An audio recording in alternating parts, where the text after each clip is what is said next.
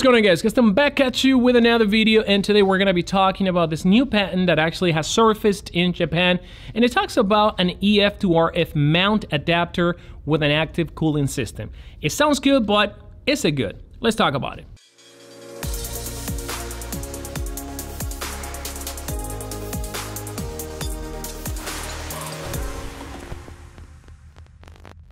Welcome back to the channel guys, Gaston right here, and if you're new to this place, I do gear reviews, tutorials, behind the scenes, so if you enjoy the content around here, consider subscribing to my channel and enable notifications for more content like this one.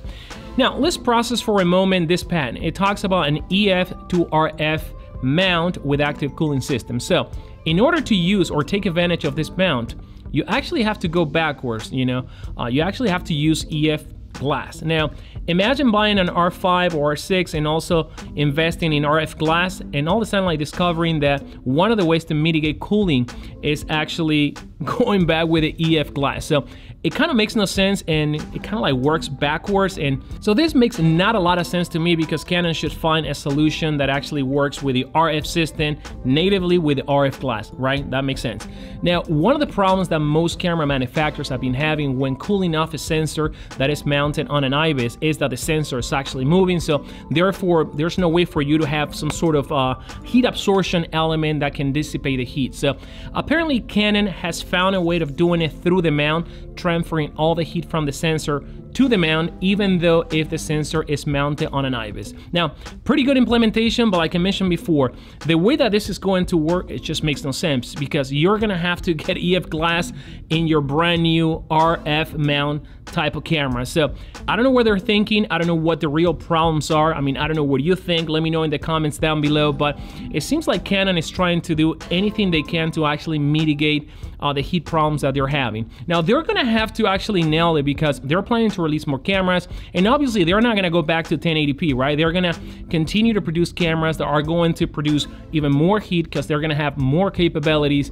But, you know, doing it in this way, I think is kind of like, you know, um, I don't know what to do, and this is the base that I could have thought, and here it is a product. So hopefully, you know, it's just a patent. Hopefully this product may not actually come to life because I think that they should focus in a solution that is going to enable the RF camera work with the RF glass without none of the heating elements. Now, one of the things that they could do, they could probably do an RF to RF, you know, if they can actually find a way to transfer the heat to the mount, maybe they can add an adapter that, uh, you know, can be kind of like a heatsink, you know, basically, and work with the RF mount. Now, I don't know why this patent talks about an EF to RF because, to be honest with you, it should be RF to RF. And you know, I made a video about the Tilta uh, solution, which is kind of like a fan with a cooling plate. And uh, you know, it looks okay, but it is also like an add-on that you have to put in the back of the camera.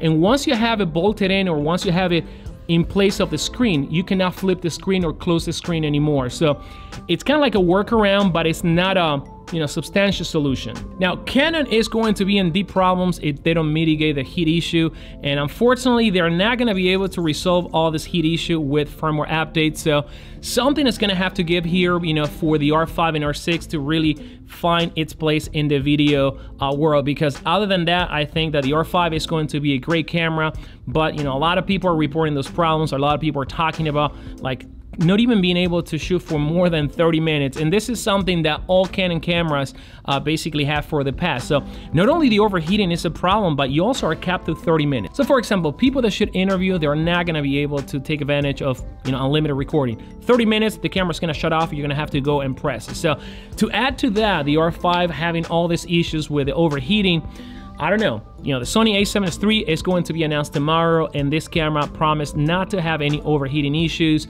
and uh, it's not gonna have any of the high-end features but I think that Canon try to put way too much technology or way too much resolution in a DSLR-like type of body you know? So apparently this is a real problem you know Canon trying to mitigate the heat issues. What are they gonna come up with? We don't know but definitely they need something quick before people start canceling those R5 and R6 orders for video. I'm assuming that the R5 is going to be an excellent camera for photography and that's one of the main reasons why I'm actually getting the camera, but I'm also planning to get the a7S III. Anyway, so cooling problems for Canon. Let me know what you think. Drop your comments down below. And as always, guys, make sure to subscribe to the channel if you enjoy this type of discussion. And as always, I'll see you again in another video. Take care.